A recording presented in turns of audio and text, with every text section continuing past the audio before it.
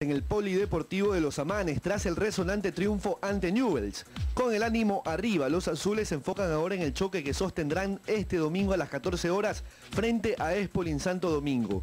El delantero Jaime Ayoví podría repetir como titular. El partido ante Newells le ha generado más confianza. Hay que corregir esos errores y tratar del próximo partido hacer la cosa bien. Frente a Espoli, no, el domingo. ¿Qué plantel cree que lleva el profesor? No, creo que él tiene que tomar la decisión, por, por algo es el técnico y uno tiene que acatar si está o no está y tratar de seguir trabajando. Joao Rojas fue clave para el triunfo ante los argentinos. Gracias a Dios, como todos pusimos un granito de arena, ¿no? sabiendo que era un partido importante para nosotros. Creo que dimos todo lo que, lo, lo que pudimos y gracias a Dios salió una victoria que, que todos, se fueron, todos se fueron felices.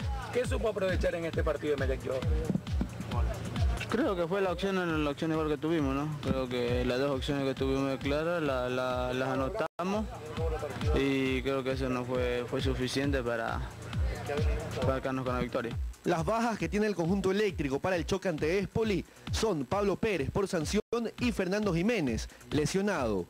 azules que salen a la luz tras la clasificación a la fase de grupos de la Copa Libertadores de América es el defensa Marcelo Fleitas, quien rescata la actitud del plantel ante Newells.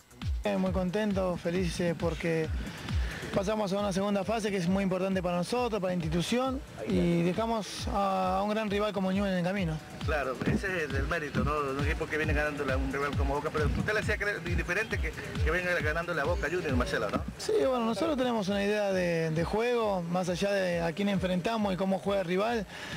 Lo importante es cómo, cómo, lo hacemos nosotros y creo que en estos 180 minutos que hemos jugado con Newell, eh, tanto en Rosario como anoche fuimos superior y creo que fue, fue una clasificación justa por lo que hicimos eh, en los dos encuentros. el gol del empate de Newell, ¿qué, dice que Marcelo?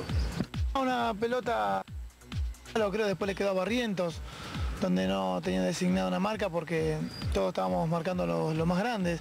Pero esa jugada normalmente, bueno, cuando pegan el palo tratás de que salga la pelota hacia afuera, salió hacia adentro, le quedó barriendo, pero no hay que pensar tanto en el gol de ellos, sino en la clasificación de, de Melec, que es lo más importante. De podido ganar Emelec y quedar eliminados de la Copa Libertadores de América. Sin embargo, conocieron que perdieron ante un gran equipo y se van conformes con el funcionamiento colectivo del conjunto argentino. No, la verdad que estaba un poco dolido, una lástima lo que pasó ayer. ¿Esperaban que se dé así el partido complicado? No, nosotros veníamos con mucha, mucha ilusión de pasar, pero bueno, ya pasó eso. ¿Qué opinión del partido ante Melec? Sí, lastimosamente perdimos. Ahora los argentinos se enfocarán en el torneo local.